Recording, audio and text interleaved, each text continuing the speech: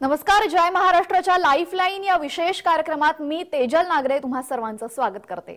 Lifeline या कार्यक्रमामध्ये आजचा आपला विषय आहे रोबोटिक सांधे प्रत्यारोपण काळाची गरज आणि या विषयावर मार्गदर्शन करण्यासाठी आपल्यासोबत आज आहेत डॉक्टर अभिषेक शिंदे. डॉक्टर आपल्या कार्यक्रमात मनपूर्वक स्वागत. थँक्यू या कार्यक्रमाला सुरुवात करण्याआधी आपण डॉक्टरांविषयी थोडक्यात माहिती घेऊयात.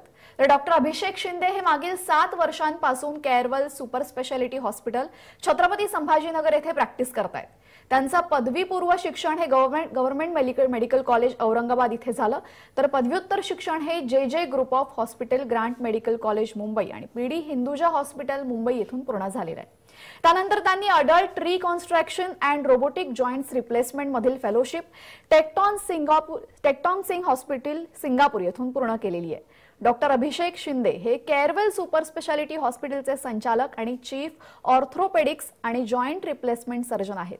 मागील सहा वर्षात त्यांनी पाच हजारापेक्षा जास्त यशस्वी शस्त्रक्रिया केल्या असून हजारो सांधे प्रत्यारोपण करण्याचाही त्यात समावेश आहे. आता त्यांनी रोबोटिक जॉईंट रिप्लेसमेंटचे शतक पूर्ण केलेलं आहे. केअरवेल सुपर स्पेशालिटी हॉस्पिटल आणि Aarush robotic joint replacement centre हे रोबोटिक प्रणालीचं मध्य महाराष्ट्रातील एकमेव सेंटर आहे.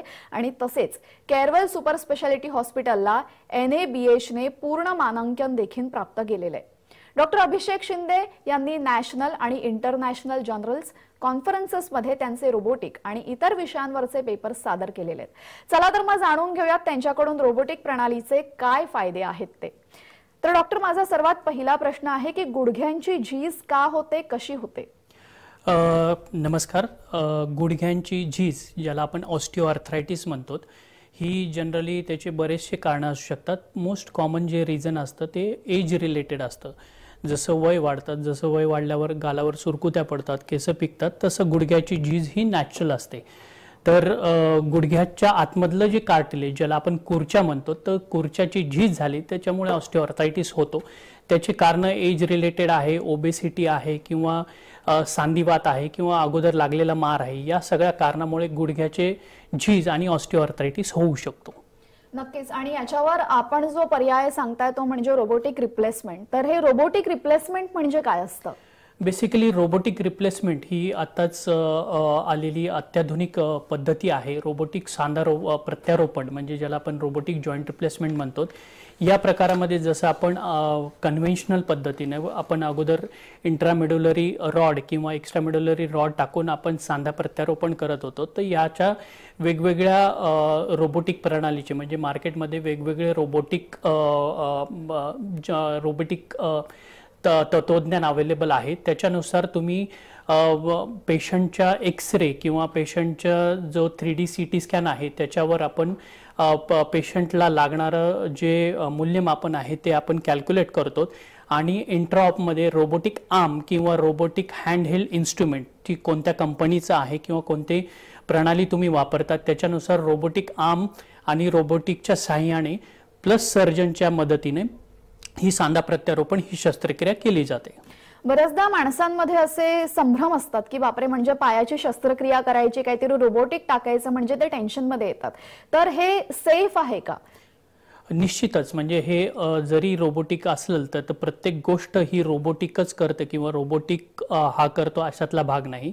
की रोबोटिक जॉईंट रिप्लेसमेंट ही फिफ्टी फिफ्टी शस्त्रक्रिया म्हणजे जसं सर्जनचा हा त्याच्यामध्ये अतिशय इम्पॉर्टंट रोल असतो. सर्जनचा पण रोल असतो पण त्याद्वारे प्रत्येक स्टेपमध्ये रोबोटिक आपल्याला त्या शस्त्रक्रिया करताना शस्त्रक्रियाच्या अगोदर आणि शस्त्रक्रिया झाल्यानंतर सुद्धा आपल्याला प्रत्येक पॉईंटला तो चेक केला जातो. आणि त्यामुळे रोबोटिक आर्म किंवा रोबोटिक प्रणाली ही इम्प्लांट प्लेसमेंटची किंवा इम्प्लांटची अचू अचूकता ब बसवण्याची अचूकता वाढवते. आणि निश्चितच जी आपण जे कन्व्हेन्शनल पद्धतीमुळे मुळे होणारे जे आउटलायर्स आहेत किंवा जे इम्प्लांट पोझिशन आहे त्याची जी ॲक्युरेसी आहे ती रोबोटिक प्रणालीमध्ये जास्त पद्धतीने चांगल्या पद्धतीने वाढते. आणि ॲक्युरेसी वाढल्यामुळे त्याचे जे होणारे फायदे ते निश्चितच वाढतात. नक्कीच प्रचंड वेदना होत असतात पेशंट्सला हे सगळं करण्याआधी आणि त्यामुळेच ते आपल्याकडे येतात. तर ही सर्जरी झाल्यानंतर त्यांच्या वेदना शंभर टक्के बऱ्या होतात का कमी होतात का? मी तर म्हणेल की कोणतेही सांधा प्रत्यारोपण मग ते कन्व्हेन्शनल असू द्या किंवा रोबोटिक सांधा प्रत्यारोपण असू द्या पर्टिक्युलरली रोबोटिक सांधा प्रत्यारोपणमध्ये की पोस्ट ऑपरेटिव्ह. आता आज आज आपण एकविसाव्या शतकामध्ये आहे त्याच्यामुळे जे ॲनेस्थेशियाचे टाईप आहे किंवा पोस्ट ऑपरेटिव्ह जी पेन मॅनेजमेंट टीम असते त्या अत्याधुनिक ड्रग्ज जे वापरल्या जातात. त्याच्यामुळे जे होणारं पेन आहे ते निश्चितच कमी होतं. पण पर्टिक्युलरली रोबोटिक नी रिप्लेसमेंटमध्ये किंवा रोबोटिक सांध्या प्रत्यारोपणामध्ये जी टिश्यू हँडलिंग होते किंवा बोन हँडलिंग होते ही कमी प्रमाणामध्ये होते. आणि त्यामुळे जे वेदना होतात जे ऑपरेशन नंतरच्या ज्या पेन असतात ते डेफिनेटली कमी होतं. आणि स जसं मी अगोदरही म्हटलं होतं की जी इम्प्लांट प्लेसमेंट किंवा जी ॲक्युरेसी ज्या पद्धतीने इम्प्लांट प बसल्या जातं त्यामुळे सुद्धा जे पोस्ट ऑपरेटिव्ह जे पेन असतं ते किंवा जे वेदना होणाऱ्या वेदना असतात त्या सुद्धा कमी प्रमाणात असतात तर हे. डेफिनेटली सेफ आहे नक्कीच. इथे आपण असं लिहिलेलं आहे की रोजा रोबोटिक्स. हा नक्की काय प्रकार आहे? रोजा रोबोटिक म्हणजे जसं मी अगोदर म्हटलं की मार्केटमध्ये किंवा आपण वेगवेगळ्या प्रणालीचे रोबोटिक्स अवेलेबल आहे. तसं रोजा म्हणजे रोबोटिक ऑर्थोपेडिक सर्जिकल असिस्टन्स हा एक रोबोटिक प्रणाली अवेलेबल आहे जी झिमर बायोमेट या कंपनीनं डेव्हलप केलेली आहे यू एस ए बेस्ड. यामध्ये आपण रोजा रोबोटिक्समध्ये इमेज लेस याचे फायदे असे की इमेज लेस आणि इमेज बेस्ड अशा दोन्हीही रोबोटिक सांधा प्रत्यारोपण आपण करू शकतो. इमेज लेस आणि इमेज बेस म्हणजे काय? इमेज बेस म्हणजे आपल्याला ऑपरेशनच्या अगोदर बऱ्याचशा रोबोटिक ज्या दुसऱ्या प्रणाली आहेत त्याच्यामध्ये सी टी स्कॅन करणं कंपल्सरी असतं. पण यामध्ये आपण जो स्कॅनोग्राम स्कॅनोग्राम म्हणजे आपण एक उभा एक्सरे काढतो फुल लेंथ एक्सरे काढतो. तुम्ही दिसू बघू शकतात फिल्मवर तो फुल लेंथ एक्सरेमध्ये आपण त्याचं पेशंटचं किती डिफॉर्मिटी आहे म्हणजे किती व्हायरस डिफॉर्मिटी आहे किंवा किती वाल्गस डिफॉर्मिटी आहे ह्या स्कॅनोग्रामवर आपण टू डी एक्सरे त्याला थ्री डी कन्व्हर्जनमध्ये कन्व कन्वर्ट करतो. त्या थ्री डीमध्ये कन्वर्ट झाल्यानंतर रोबोटिक आर्म किंवा रोबोटिक प्रणाली त्याचं वि विशिष्ट कॅल्क्युलेशन करतात आणि त्या त्या पेशंटसाठी किंवा त्या पेशंटसाठी तो कोणत्या प्रकारचा सांधा आणि कशा पद्धतीनं केलं पाहिजे ते उत्तम प्रमाणे आपल्याला ऑपरेशनच्या अगोदरच कळतं. इमेज बेस हे झालं इमेज बेस तर इमेज लेसमध्ये या आपण या या रोबोटिक प्रणालीमध्ये आपण इमेज लेससुद्धा रोबोटिक शस्त्रक्रिया करू शकतो. ज्याच्यामध्ये आपण ऑपरेशन दरम्यान एक पेशंटचा जो सांधा असतो म्हणजे हिपपासून नीपासून आणि अँकलपर्यंत विशिष्ट पद्धतीने हलवला जातो. आणि त्याला आपण हिप सेंटर म्हणजे जो आपला खुब्याचा सांधा आहे गुडघ्याचा सांधा आहे आणि घोट्याचा सांधा आहे त्याचं सेंटर आपण नियंत्रित करतो तो रोबोटिकच्या रोबोटिक मशीनमध्ये आणि ते नियंत्रित केल्यानंतर त्याची two D conversion three D रूपांतरमध्ये होतं.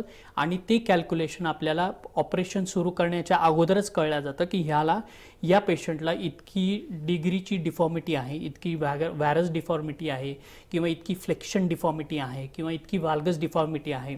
आणि मग आपल्याला किती करेक्शन करायचं आहे त्या त्यानुसार त्या थ्री डीच्या म्हणजे त्या रोबोटिक आर्मच्या किंवा त्या रोबोटिकच्या कम्प्युटर स्क्रीनवर आपण ऑपरेटिव्हली डिसाईड करतो. आणि त्याच पद्धतीने तुमची रोबोटिक जीग किंवा रोबोटिकची जी हँड हेल्ड इन्स्ट्रुमेंट आहे ते तिथे विश ते आपोआप येऊन बसतं आणि you just need to cut तर तुम्ही त्या ह्या सगळ्या गोष्टीमुळे हे रोजा रोबोटिकचं ही जी प्रणाली आहे ती अत्यंतशी फायदेशीर ठरते. आता गुडघ्याच्या सांध्याची जी ओरिजिनल पोझिशन आहे तिथून तो डिफॉर्म होतो. तर ते किती पर्सेंट डिफॉर्मिटीला तुम्ही हंड्रेड पर्सेंट रिक्युअर रिकवर करू शकता?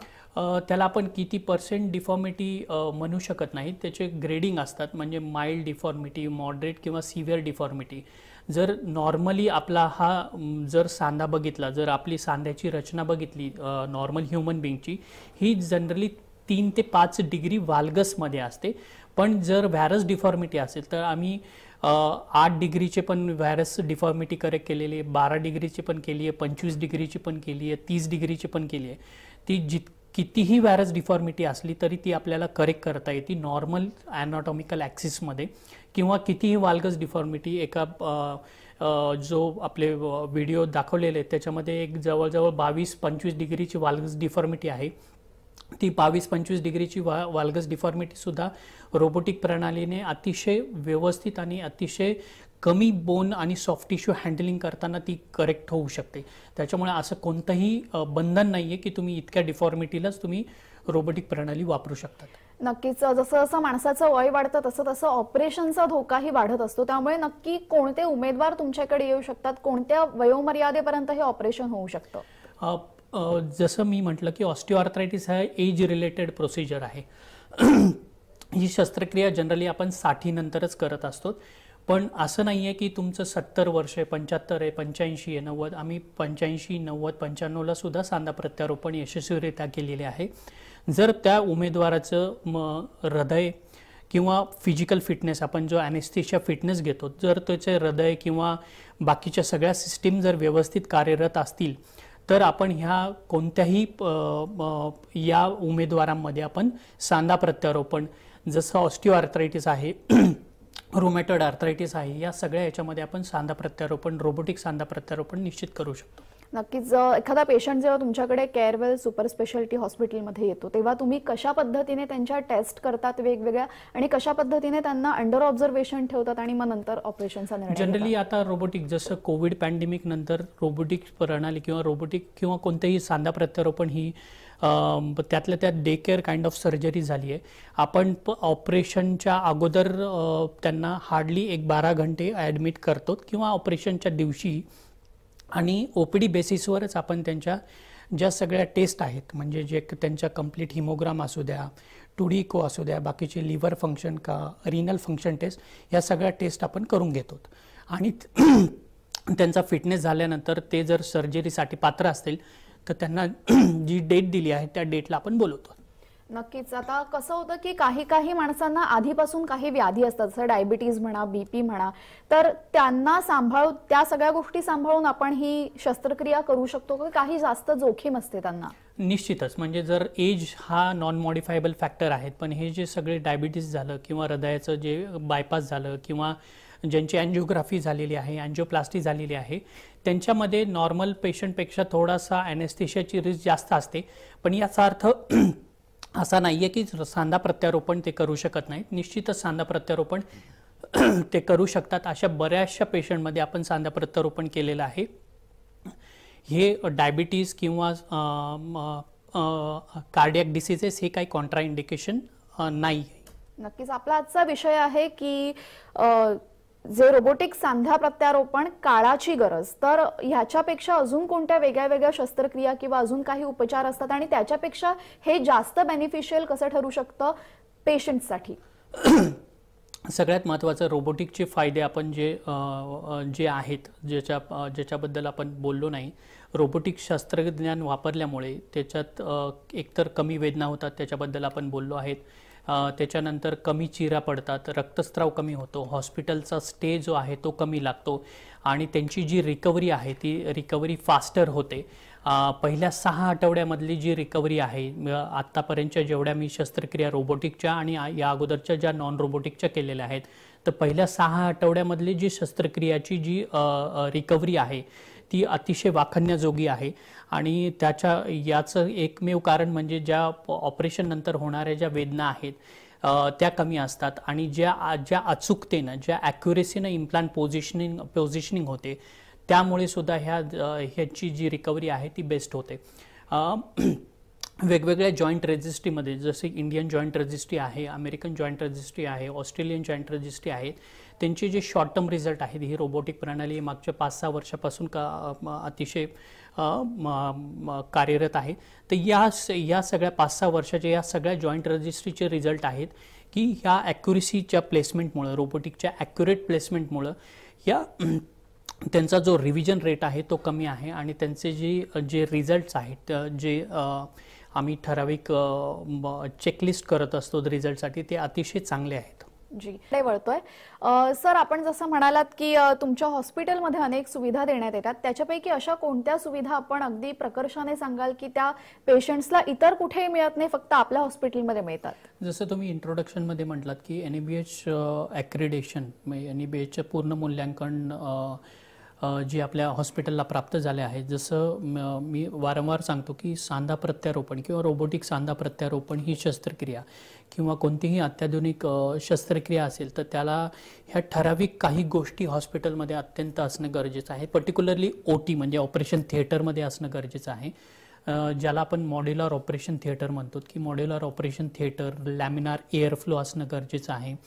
तर ही एन बी एचची संस्था आहे. ही सगळे मूल्यांकनामध्ये जर तुम्ही ब- व्यवस्थित असाल तरच तुम्हाला हे मूल्यांकन प्राप्त होतं. तर ही सुविधा असणं म्हणजे रोबोटिक आर्म किंवा रोबोटिक मशीन असणं नुसतं गरजेचं नसतं. त्याच्यासोबत जे आहे किंवा ऑटोक्लेव तुमच्या कोणत्या पद्धतीनं केलं जातात ई टी ओ कोणत्या पद्धतीनं केलं जातात तुम्ही किती व्यवस्थित स्टरलायझेशन टेक्निक वापरल्या जातात तुमच्या ऑपरेशन थिएटरची साईज किती आहे? त्याच्यात लॅमिनार एअरफ्लो आहे का नाही? त्याच्यामध्ये त्याच्यामध्ये लॅमिनार एअरफ्लो आहे का नाही? या सगळ्या मॉड्युलर ऑपरेशन थिएटरची जर सुविधा असेल तर ही निश्चितच तुम्ही रोबोटिक सांधा प्रत्यारोपण ही शस्त्रक्रिया तिथे त्या हॉस्पिटलमध्ये म्हणजे माझंच हॉस्पिटल नाही तुमच्या या कोणत्याही हॉस्पिटलमध्ये तुम्ही निश्चित करू शकतात. ह्या सगळ्या सुविधा आपल्या हॉस्पिटलमध्ये तर निश्चित अवेलेबल आहेतच. पण या व्यतिरिक्त बाकी सगळ्या ज्या कॉर्पोरेट सो कॉन काइंड ऑफ काइंड ऑफ हॉस्पिटलच्या ज्या सगळ्या सुविधा अवेलेबल आहेत त्यासुद्धा या स्मॉल हॉस्पिटलमध्ये सुद्धा किंवा H H C O H S C O कॅटेगरीमध्ये एन बी एचनुसार एस एस सी ओ कॅटेगरीमध्ये येतं आपलं हॉस्पिटल जे की फिफ्टी बेडपेक्षा कमी आहे. पण त्या सगळ्या सुविधा आपल्या हॉस्पिटलमध्ये उपलब्ध आहेत. जसं मगाशीच मी तुम्हाला प्रश्न विचारला की माणसं घाबरतात या शस्त्रक्रियांना कारण की गुडघ्याचा प्रश्न असतो चालण्याचा प्रश्न असतो त्यांच्या शेवटी. आणि अनेक वर्ष ते गेले या आजारासोबत झुंजतच असतात. त्याच्यामुळे बराच प्रदीर्घ काळ त्यांचा गुडघा झीज झालेला असतो. तर अशाही गोष्टी आपण रिपेअर करू शकतो का रोबोटिक्सने निश्चितच रोबोटिकनं हे रिपेअर करू शकतो. तर जसं मी म्हटलं की रोबोटिक सांध्या प्रत्यारोपण जी प्रणाली आहे ज्याच्यामध्ये आपण इमेजलेस किंवा इमेज बेस पद्धतीनं रोबोटिक रिप्लेसमेंट करून सो तुमचा सांधा प्रत्यारोपण इमेजमध्ये जसं दाखवलं तुम्ही किती जरी झीज असलेली म्हणजे जसं मी अगोदर बोललो की तुमची झीज ही दहा डिग्रीची असू द्या पंधरा असू द्या किंवा थर्टी डिग्री असू द्या त्या त्या सगळ्या झीजमध्ये सुद्धा आपण रोबोटिक सांधा प्रत्यारोपण शस्त्रक्रिया यशस्वीपणे करू शकतो. आणि जसं मी वारंवार सांगितलं आहे की ॲक्युरेसी जी अचूकता आहे ती अचूकता अतिशय रोबोटिकनं अचूकता साधल्या जाते. आणि त्याच्यामुळे जे रिकव्हरी आहे म्हणजे ह्या इतक्या वर्षापासून जे पेन सहन करत असतात जसं तुम्ही म्हटलं की वारंवार बऱ्याच वर्षापासून ते त्यांचं ते निश्चितच पेन इतकं सुधारतं की ते दैनंदिन जीवनाचे असे असे आमचे कितीतरी पेशंट्स आहेत की दैनंदिन जीवनात ते पाच ते आठ किलोमीटर चालतात जिने चढ उतार करतात. काही काही पेशंट जे उत्सुक आहे ते जनरली बरेचसे चारधाम करतात ट्रॅकिंगला जातात. ते ॲक्टिव्ह लाईफ जगतात. म्हणजे या कोणत्याही आजकालच्या ज जगामध्ये किंवा आजकालच्या इरामध्ये कोणालाही डिपेंडंट राहाय राहायचं नाही आहे तर या वयामध्ये पर्टिक्युलरली सिक्स्टी सेवन्टीमध्ये स्वतःचं सेल्फ केअर आणि सेल्फ मोबिलिटी ही खूप महत्त्वाची असते आणि रोबोटिकच्या साह्याने आपण हे अतिशय चांगल्या पद्धतीनं त्यांना देऊ शकतो. यातच मला फार जास्त आनंद आहे. नक्कीच. आता बऱ्याचदा असं होतं की रोबोटिक म्हणजे तुम्ही गुडघ्याच्या ऐवजी काही वेगळा रिप्लेसमेंट गुडघा टाकणार आहात की जे आहे ते डिफॉर्म करणार आहात? या बाबतीत पण लोकांना खूप संभ्रम असतो की एखादी वेगळी गोष्ट फॉरेन पार्टिकल जर कोणताही बॉडीमध्ये आल्यानंतर बॉडी त्याला कसंही करून आउट करते. तर त्याच्यानंतरची प्रोसेस काय असते? ह्या सगळ्या गोष्टी झाल्यानंतर कशा प्रकारे काळजी घ्यावी आणि मुळात हे रोबोटिक रिप्लेसमेंट कशा पद्धतीने होतं? बेसिकली रोबोटिक सांधा प्रत्यारोपण असू द्या किंवा कन्व्हेन्शनल सांधा प्रत्यारोपण असू द्या तो आपण जो खराब झालेला जो कुर्चा असतो किंवा खराब झालेलं जे कार्टिलेज असतं ते आपण विशिष्ट पद्धतीनं त्याला कट केलं जातं. रोबोटिकचा असू द्या किंवा कन्व्हेन्शनल पद्धतीनं असू द्या तो खराब झालेला कुर्च्यामध्ये आपण जो सांधा टाकतो तो सांधा हा वेगवेगळ्या धातूंनी बनलेला असतो. तर मोस्ट कॉमनली यूज केलेलं जाणारं जे मटेरियल आहे ते टायटेनियम नावाचं मटेरियल आहे. किंवा त्याच्यामध्ये गोल्ड ऑक्झिनियम असे वेगवेगळे धातूसुद्धा आपण वापरले जाऊ शकतात. गोल्ड किंवा ऑक्झिनियम धातू ज्या पेशंटला मेटलची ॲलर्जी आहे किंवा ज्यांचं एज कमी आहे त्या पेशंटमध्ये जनरली आपण प्रेफर करतो. पण जसं तुम्ही म्हणताल की हा जो फॉरेनचा सांधा टाकला तर त्याला काहीही भीती नसते. हे आपण मागच्या आज पाच सहा दशकापासून चालत आलेली ही शस्त्रक्रिया आहे. आणि आता दर दिवशी ॲडव्हान्सेस वाढत चालल्यामुळे आपण ज्या प्रकारचा धातू वापरतो किंवा मेडिकल ग्रेड टायटेनियम वापरतो हे अतिशय सेफ असतं. त्याच्यामुळे काही फॉरेन बॉडी रिॲक्शन किंवा फॉरेन रिॲक्शन होत नाही. जसं दोन घा नॅचरल सांध्यामध्ये दोन सांध्या दोन कार्टिलेजमध्ये जे फिमरचं कार्टिलेज आहे आणि टिबियाचं कार्टिलेज आहे ज्याच्यामध्ये गादी असते ज्याला आपण मिनिस्कस म्हणतो तर या सांधा प्रत्यारोपणमध्ये दोन आर्टिक्युलर म्हणजे दोन मेटलच्या पार्टमध्ये एक हायली क्रॉसलिंग पॉली असतं जे जनरली व्हाईट पर्ल व्हाईट कलरचं दिसतं. ते आता थर्ड फोर्थ जनरेशनचं हायली क्रॉसलिंग पॉली आहेत. काही काही व्हिटॅमिन ई इम्प्रिग्नेटेड पॉली पण आले आले असतात. तर ते आपल्या गादी म्हणजे ते आपल्या गादीचं काम करतं. त्याच्यामुळे जे घर्षण होतं ते सुद्धा कमी होतं. त्याच्यामुळे ह्या मेडिकल ग्रेडमध्ये दर दर सातत्यानं दर वर्षी किंवा दर पाच वर्षाला हे ॲडव्हान्सेस होत राहतात. तर ही ह्या मटेरियल वापरल्याने कोणताही धोका नसतो किंवा हे मटेरियल हे अतिशय सेफ असतं. नक्कीच गेली. अनेक वर्ष काही व्यक्ती काही माणसं अशी असतील जे या आजाराशी झुंजत असतील त्यांना तुमच्यापर्यंत पोहोचायचं आहे तर ते कशा पद्धतीने तुमच्यापर्यंत पोहोचू शकतील? निश्चितच जसं तुम्ही संपर्क लिहिलेला आहे तुम्ही कॉलद्वारे किंवा माझं यूट्यूब चॅनल आहे त्याच्यावर तुम्ही सुद्धा सबस्क्राईब करून किंवा त्याच्यावर माझे वेगवेगळ्या विषयावर की ऑर्थोपेडिक्सशी रिलेटेड वे वेगवेगळे जे आजार आहेत त्याच्यावर सुद्धा सविस्तर माहिती दिलेली आहे. या व्यतिरिक्त आपली हॉस्पिटलची वेबसाईट आहे किंवा आपल्या हॉस्पिटल माझा ईमेल आय डी पण दिलेला आहे. याद्वारे सुद्धा तुम्ही आमच्या तुमच्या काही ज्या शंका असतील किंवा तुमचे काही प्रश्न असतील त्या त्या ते तुम्ही आम्हाला निश्चित विचारू शकतात या मार्गात. नक्कीच या कार्यक्रमाचा सार आपण असं म्हणू शकतो की ह्या सर्व प्रक्रियेनंतर जे पण इतक्या वर्षांपासून या आजाराशी झुंजतायत त्यांना नक्कीच आराम मिळेल आपल्याकडे आल्यानंतर. निश्चितच. नक्कीच. जसं सरांनी सांगितले की जर तुम्हालाही गुडघ्यांचा त्रास असेल गुडघ्यांची काही तक्रार असेल गेले अनेक वर्ष तर तुम्ही निश्चितच अभिषेक शिंदे सरांशी संपर्क साधावा. आपला यांच्याशी संपर्क कसा साधायचा आहे? या संदर्भात आपल्या स्क्रीनवर डिटेल्स दिलेले आहेत. त्यावर आपण यांच्याशी संपर्क करू शकता. यासह लाईफलाईन या जय महाराष्ट्रच्या विशेष कार्यक्रमात वेळ झाली. इथेच थांबण्याची अशाच मार्गदर्शनासाठी बघत रहा जय महाराष्ट्र.